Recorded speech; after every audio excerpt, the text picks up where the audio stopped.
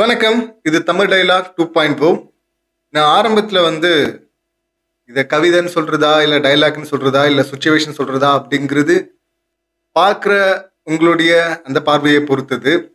So first இதை நான் போடுறேன். அதை பார்த்துருங்க.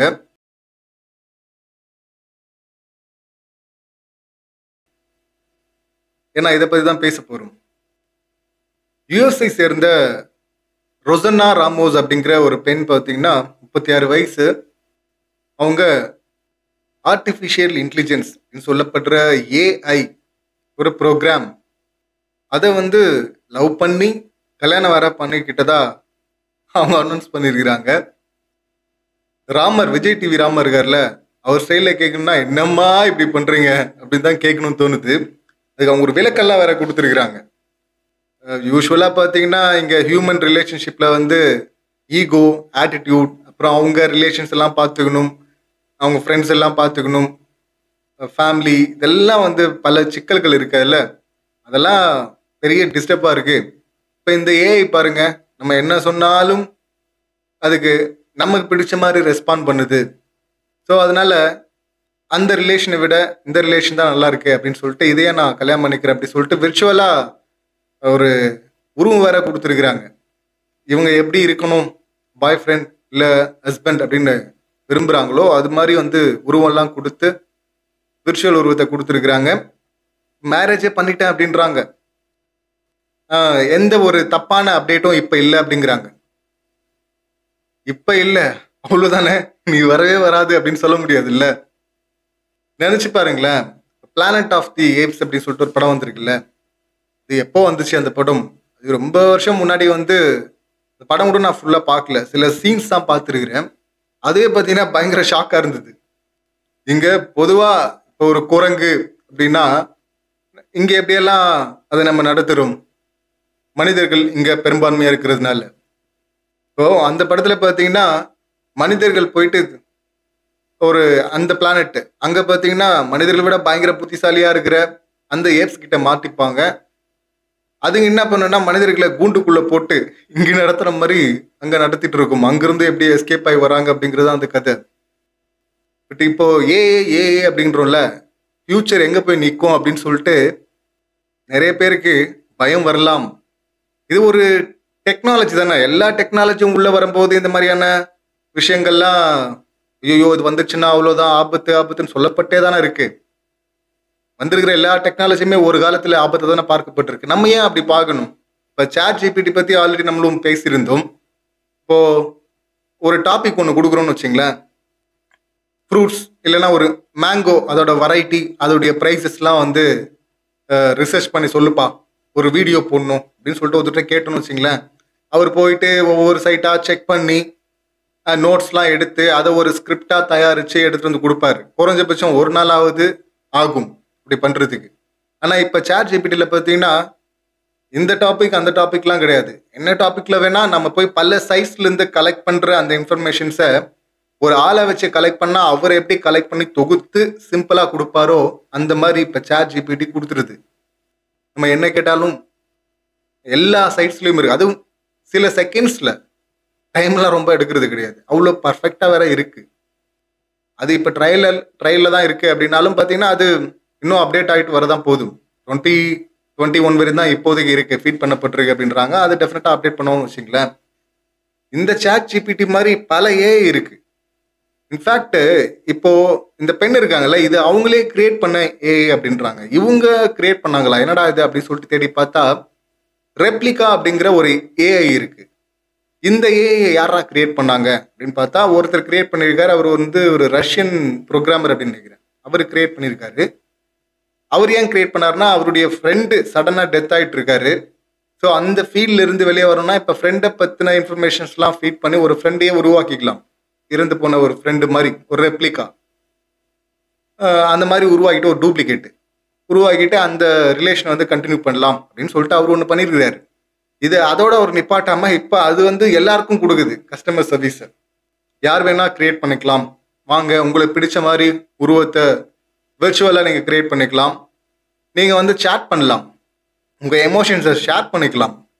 அதுக்கு வந்து அவங்க முந்நூறு டாலர் சார்ஜ் பண்ணுறாங்களாம் ஸோ அப்படி சா சார்ஜ் பண்ணி இவங்க வந்து க்ரியேட் பண்ணி அதுக்கப்புறம் பார்த்தீங்கன்னா பழகி லவ் ஆகி அதுக்கப்புறம் மேரேஜ் வரையும் போய் நிற்குது இவங்க மட்டும் கிடையாது. இன்னொருத்தர் கூட கொஞ்ச நாள் முன்னாடி பார்த்தீங்கன்னா அவர் ஒரு மேல் அவர் ப்ரோக்ராமர் அவர் பார்த்தீங்கன்னா ஒய்ஃபோட பிரச்சனை நம்ம ஷேர் பண்ணணும்னு போனாலும் சரியாக செட் ஆக மாட்டேங்குது சிங்க் ஆக மாட்டேங்குது அப்படின்னு சொல்லிட்டு அவர் இதே போல் ஒரு சேட் அந்த ப்ரோக்ராம் இருக்குல்ல அதோட வந்து இவர் கம்யூனிகேட் பண்ணி அதில் பயங்கரமாக அடிக்ட் ஆகிட்டு அதுக்கப்புறம் வைஃபை விட இது செம்ம கம்பெனியான இருக்கு அப்படின்னு சொல்லிட்டு அதில் சிக்கிருக்கிறார் லவ் பண்ணுற அப்படின்னு சொல்லிட்டு.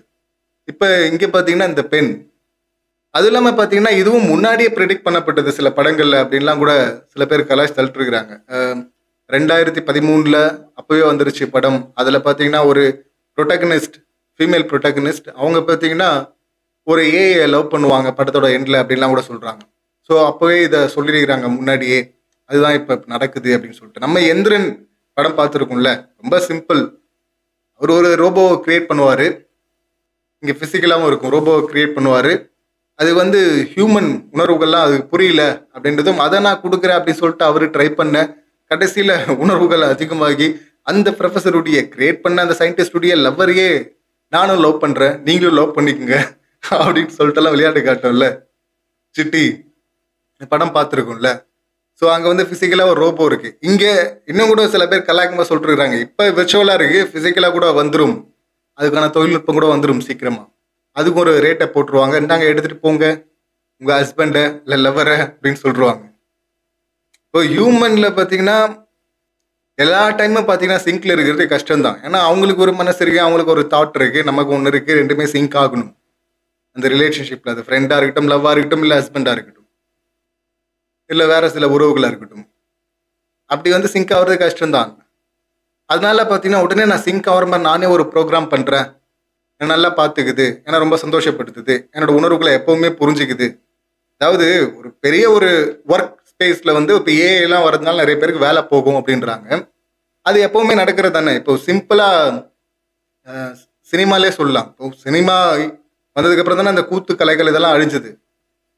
இப்போ அதுக்கப்புறம் பார்த்தீங்கன்னா சினிமா டெலிவிஷன் வருது. டெலிவிஷன் வரும்போது எல்லாம் பயப்படுறாங்க. சினிமா அவ்வளோதான் காலி அப்படின்னு சொல்லிட்டு. அப்பவும் சினிமா இருக்குது அதுக்கப்புறம் பார்த்தீங்கன்னா ஓடிடி இப்போ ஓடிடி வந்ததுக்கப்புறமும் பார்த்தீங்கன்னா எல்லாம் ஆரம்பத்தில் நிறைய தயாரிப்பாளர்கள்லாம் பார்த்தீங்கன்னா பதட்டப்பட்டு இன்டர்வியூலாம் கொடுத்தாங்கல்ல இதை தடை செய்யணும் அப்படின்லாம்.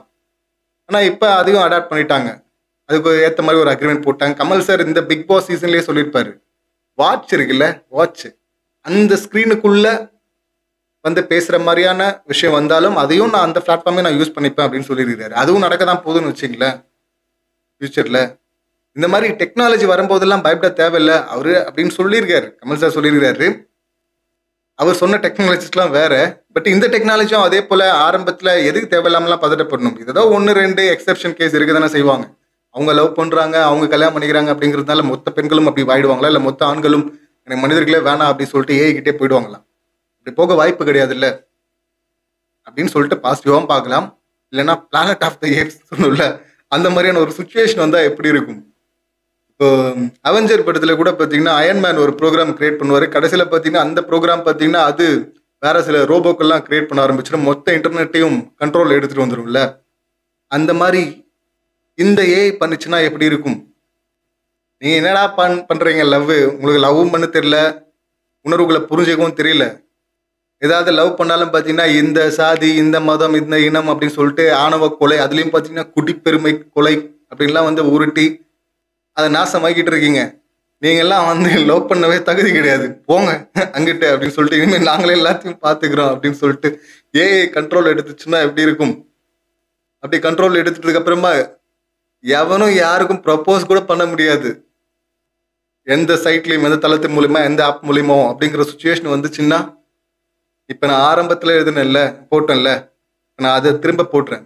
இந்த சுச்சுவேஷனோட இந்த கவிதையோ வசனமோ இல்லை சுச்சுவேஷனையும் நினச்சி பாருங்க. நான் எழுதுனது இந்த தாட்டில் தான் எழுதினேன். இந்த மாதிரியான ஒரு பதிவு பார்த்துருந்தேன். ரோசன்னா பற்றி இந்த மாதிரி ஒரு ஏஐ கல்யாணம் பண்ணிட்டாங்க அப்படின்னு சொல்லிட்டு. ஸோ அதுலேருந்து தான் எனக்கு இந்த தாட் வந்தது. அது மாதிரி ஒரு சுச்சுவேஷன் வராது அப்படின்னு சொல்ல முடியாது. இப்போ இவங்க சொல்கிறாங்க அதில் பேட் அப்டேட் எதுவும் இல்லை அப்படின்றாங்க. அது சோஃபார் இப்போ இல்லை. நான் வராதுன்னு சொல்ல முடியுமா? இல்லை கண்ட்ரோல் டோட்டலாக எடுக்காது அப்படின்னு சொல்ல முடியுமா? அப்படியும் வரலாம் இல்லை அதுக்கும் வாய்ப்பு இருக்குல்ல.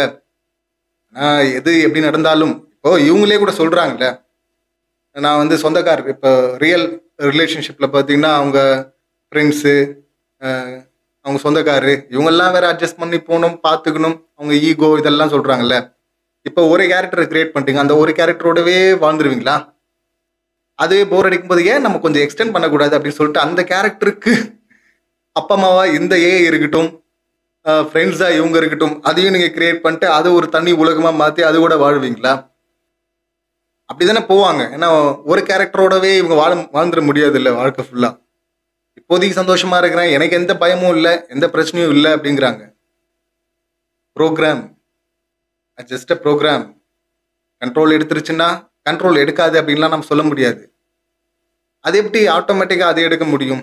அதுவாக வந்தெல்லாம் எடுக்காது தான் எங்கேருந்து ஒரு மின்னல் விழுந்து இல்லை ஒரு இடி விழுந்தெல்லாம் வந்து அதுக்கு பவர்லாம் வந்துடாது தான் அதையும் மாற்ற முடியும்ல? இன்னும் சில பேர் கலாச்சிட்டு இருக்கிறாங்க திடீர்னு ஹார்ட் டிஸ்க் வந்து ஃபார்மட் ஆயிடுச்சுன்னா என்ன பண்ணுவீங்க? அப்படின்லாம். ஸோ அது ஒரு டெத் சுச்சுவேஷன் தானே. உடனே டெத் ஆயிட்ட மாதிரி ஃபீல் பண்ணிட்டு அதுக்கும் சடங்கெல்லாம் கூட பண்ணுவாங்க போல இருக்கு. அடுத்த மேரேஜ் அப்படின்னு சொல்லிட்டு அடுத்த ப்ரோக்ராம் அடுத்த ஏ கிரியேட் பண்ண போனாலும் போவாங்க. இல்லைன்னா டூ பாயிண்ட் ஓ அப்படின்னு வச்சுட்டு இதே இன்னும் கொஞ்சம் அட்வான்ஸாக கிரியேட் பண்ணிக்கலாம். இந்த மாதிரியும் போகிறதுக்கு வாய்ப்பு இருக்கு. இப்போதைக்கு இது எக்ஸெப்ஷன் கேஸ் தானே. அதுக்காக இதுக்கு இவ்வளோ சீரியஸாக இதை டிபேட் பண்ணுமா அப்படின்னா எக்ஸெப்ஷன் எக்ஸெப்ஷனாக இருக்கிற வரை பிரச்சனை கிடையாது. அது மேக்ஸிமம் மாறிடுச்சுன்னா மாறாதுன்னு சொல்ல முடியாதுல்ல. பட் இதுக்காக வந்து பயப்படணும். டோட்டலாக மாறிடும். ஏஐ கண்ட்ரோலில் போயிடும் அப்படின்லாம் நான் சொல்ல போனா எப்படி இருக்கும் அப்படின்னு சொல்லிட்டு சும்மா சொன்னேன். பட் நம்ம மனிதர்கள் இந்த எந்திரன் படத்தில் சொல்லுவார்ல ரஜினி சார் இந்த ரோபோ சிட்டியை வந்து இன்ட்ரோ பண்ணும்போது. இது வந்து உலகத்தில் இருக்க எல்லா கலைகளும் தெரியும். நம்மளை விட வேகமாக இருக்கலாம். எல்லா கலையும் தெரிஞ்சிருக்கலாம். தலையை வந்து அப்படியே சுத்த விடலாம். ரொட்டேட் யோ ரேட்ஸ் அப்படின்னு தலை சுத்தலாம். அதெல்லாம் நம்மளால முடியாது. பட் நம்ம கண்ட்ரோலை மீறியும் அது ஒரு நாள் போயிடாது அப்படின்னு சொல்லிட்டு நான் நம்புறேன். ஏன்னா அதுலயும் பாத்தீங்கன்னா எப்படா இந்த டூ பாயிண்ட் ஓ ஒரு சமாளிக்க போறாருன்னு போது சிம்பிளா ஒரு மேட்டர்ல சமாளிப்பார்ல எந்திரன் படத்துல. அந்த மாதிரி ஏகப்பட்ட வழி இருக்க போகுது. அந்த மாதிரி ஒன்று போயிடாது. அந்த மாதிரி ஒரு சுச்சுவேஷன் வந்தா எப்படி இருக்கும்? அப்படின்னு சொல்லிட்டு அலர்ட்டா இருக்கிறதும் ரொம்ப முக்கியம். அது நார்மலா இருக்கிற எல்லாரும் அலர்ட்டா இருக்கணும் இல்லை.